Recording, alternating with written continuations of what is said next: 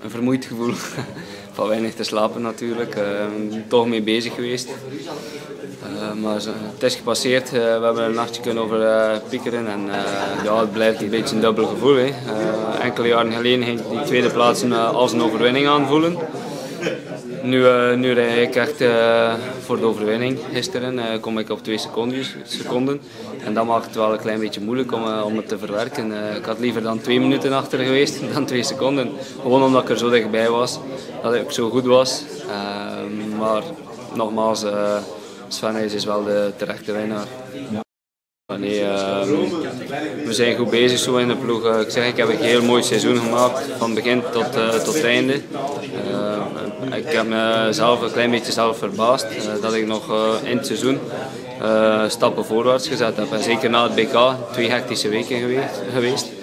Uh, niet simpel geweest voor mij en toch rijd ik gisteren nog een dijk van een wedstrijd.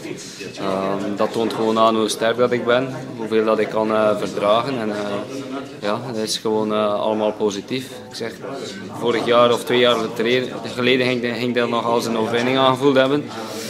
En nu zit ik met, een, met een lichte ontgoocheling. dat zegt veel over, over mij. Dat wil gewoon zeggen dat de ambitie verlegd is en dat ik gewoon enorm veel sterker word.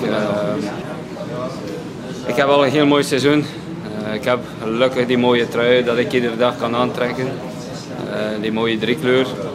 En dat zal me wel nog uh, drie weken recht houden. Gewoon omdat ik met die mooie trui kan rondfietsen. En dat geeft me nog een mooi gevoel, een leuk gevoel voor de komende crossen. Ik was boos. ik was hem niet boos, ik was gewoon een klein beetje ontgoocheld. ik heb enorm veel respect voor Sven Nys, terecht. Hij heeft een enorm mooie carrière. Ehm, dat mag er zeker een gele speech over, uh, over worden, uh, terecht. Uh, maar dan kunnen ze de jeugd, de medaillewinnaars, toch ook eens gewoon een dankjewel of een proficiat zeggen, inclusief mij. en dat vond ik een beetje spijtig.